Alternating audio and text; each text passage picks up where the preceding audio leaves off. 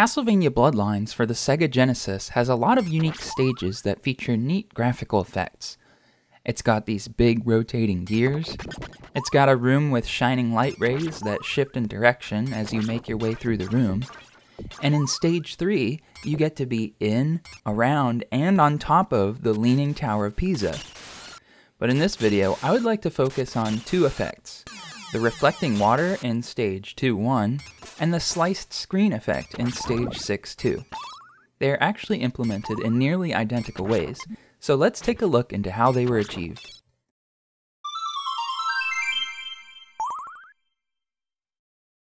Let's look at the reflecting water first. Here we can see that the water level is moving up and down. This causes the point of reflection to move up and down as well. It's not a perfect reflection, as there is this small offset in the middle, but essentially, the part of the screen that is above the reflection point gets copied and flipped and put down here. This sort of thing might be really easy to implement with some sort of frame buffer. For example, if the entire scene with the water removed was rendered separately, it could literally be copied and pasted into different locations. The top half of the screen would be unaltered, while the bottom half gets flipped and darkened. This would be simple to do in the other split screen effect as well.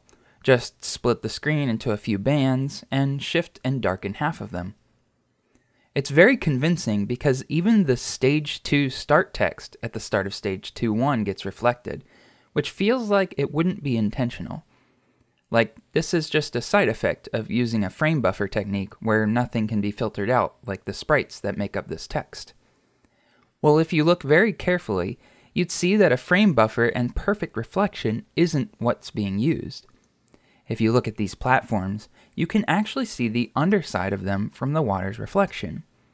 If the screen was really just being flipped vertically, you'd just see the top of the platforms on the bottom of the graphics.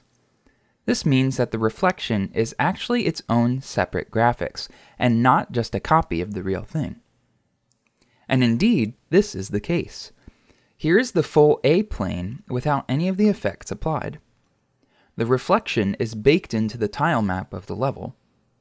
The game uses a horizontal interrupt to briefly suspend the execution of the main game loop to update some registers in memory in the Video Display Processor, or VDP, that shift the plane up and darken it. In the case of the split screen effect in stage 6.2, the plane is shifted horizontally instead of vertically, but everything else is the same. So, going back to the water reflection, does this mean the reflected stage start text was done on purpose? Well, I can't really answer that for certain, but I can at least explain why it happens. Everything I've touched on so far explains how the foreground plane is displayed, but let's look more into the sprites. Since we already deduced that this can't be some sort of frame buffer technique, that means that each sprite that gets displayed in the level actually has two copies.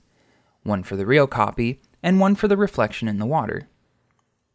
In fact, if you slow the game down by a lot, you can see a small discrepancy in the movement between the reflected foregrounds and sprites. But there's more to it than that. If you jump down into the water on a lower platform, like right here, you can see that the sprites actually get clipped away at the waterline. If all sprites were just displayed like normal, you may expect them to cross the boundary here, and it would just look all wrong.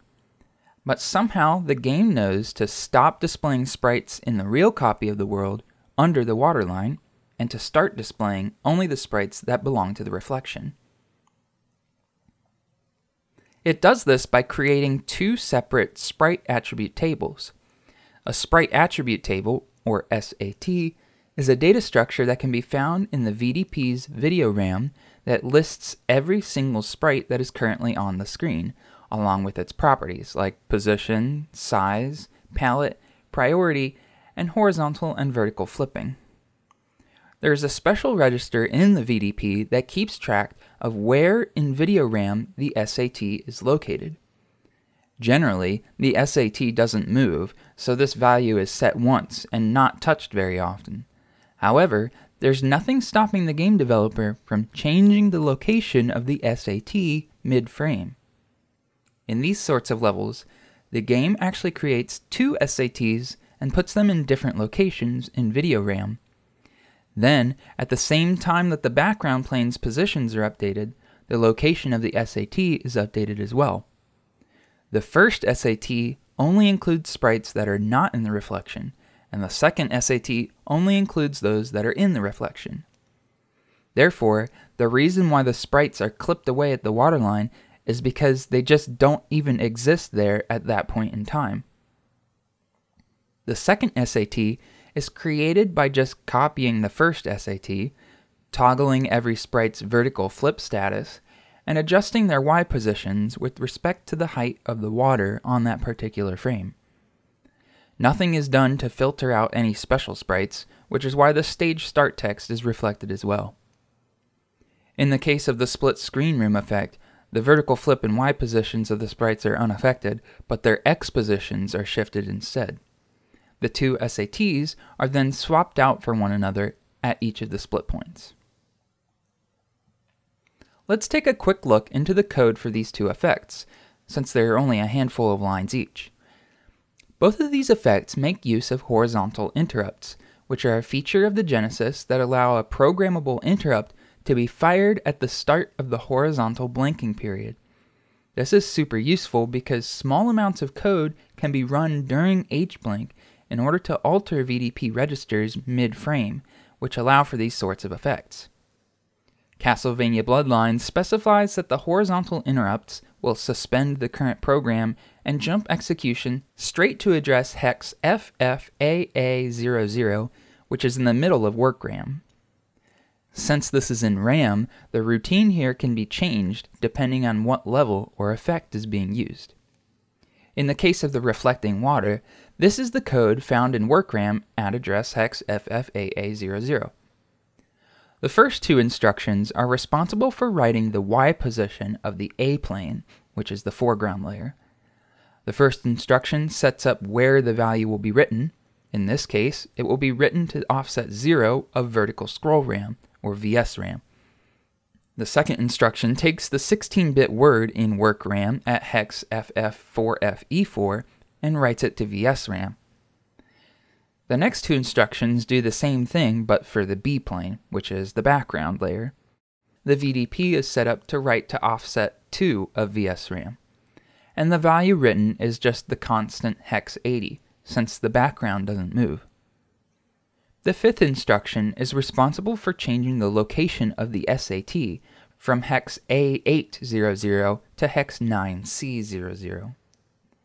The sixth instruction enables the shadow and highlight mode, which is what makes the reflection look darker than the rest of the level. Then the seventh instruction writes hex DF to the horizontal interrupt timer, which effectively disables horizontal interrupts until the next frame of execution. The last instruction just returns from the interrupt and normal execution resumes after this. We can quickly take a look at the routine that runs at the start of the frame too, to see how the top of the screen is set up. The first instruction disables the shadow highlight mode, and the second instruction is where the SAT is set to address hex A800. The next two instructions set the vertical scroll of the A plane to the value in WorkRAM at address hex FFF530, while the next two set the scroll of the B plane to that in address hex FFF532. The next set of instructions take the current height of the water reflection and use that as the value of the number of scan lines to wait until the horizontal interrupt fires mid-frame. For the split screen room effect, there are five scan lines of interest. There are the three lines where the screen splits, the line in vertical blank where the initial settings for the start of the frame take place, and a fifth line right here where nothing is actually modified. This is just due to a timing quirk I'll get to in a moment. Here's the code that runs during the vertical blanking period before the frame starts. The SAT is set to address hex A800 in video RAM, shadow highlight mode is enabled, and the horizontal interrupt timer is set to hex 22 or decimal 34, which means it will first fire on the 35th line of the frame. On the 35th line, this is the code that is found at workram address hex FFAA00. It's just a jump instruction to some code in the ROM, so let's take a look at that. Here we see just two move instructions. This is the line where nothing actually happens, so let's see what these actually do. The first move instruction sets up the jumping address for the next interrupt by writing a ROM address to workram at address hex FFAA02. This is so a different routine runs on the next interrupt. The second move instruction just sets the horizontal interrupt timer to hex 1D, or decimal 29, which means it will fire in 30 more lines. However, this is where that timing quirk comes in. These writes to the horizontal interrupt timer don't actually apply until the timer runs out again, which just means that the next horizontal interrupt will still occur in 35 lines again, but the one after that will be in 30 lines. So you'll notice that each of these code snippets will set the horizontal interrupt timer for not the next interrupt, but the one after the next. That's why this interrupt exists at all, because it happens 35 lines after the start of the frame and also 35 lines before the first screen split. In the second interrupt, we actually see some VDP registers getting modified. The SAT is set to address hex 9C00, and shadow highlight mode is disabled. The jump address and horizontal interrupt timers are updated again. This time it's set to hex 3F, or decimal 63, so that the gap between interrupts will be 64 lines. In the third interrupt, the SAT is reverted back to hex A800 and shadow highlight mode is enabled again. The jump address is updated and the horizontal interrupt timer is set to hex DF, since that will be the last time it will be needed this frame. In the fourth and final interrupt, again the SAT is set back to hex 9C00 and shadow highlight mode is disabled. The horizontal interrupt timer is set to hex DF again, but this seems unnecessary. There's a couple of things that you might notice are missing here. The first is the updating of the horizontal scroll values for the two background planes. This is actually handled by a completely separate routine, since the Genesis can read horizontal scroll values per scanline via a table in video RAM, so those don't need to be explicitly modified during the horizontal blanking period. The other thing is the initialization of the jump address for the very first interrupt. This is also handled by a completely separate routine, which actually copies an entire routine to workram instead of just copying the jump address. In this case, it is just a single instruction, the jump instruction, but it's also the same routine that is responsible for uploading the entire horizontal interrupt routine for the water reflection effect as well. Thank you for watching. Since there are a lot of games with neat audio or visual effects, and I probably haven't played most of them, I've decided to open up a submission form for viewer suggestions for more entries into the AVFX Explained series. If you'd like to see a special effect in some sort of retro video game explained on the channel, just check out the link to the form in the video description. All you need to do is submit what game it is, a description of the phenomena, and a video or picture of it so I can browse through them easily. I'll pick the most popular and most interesting ones to make videos of on the channel.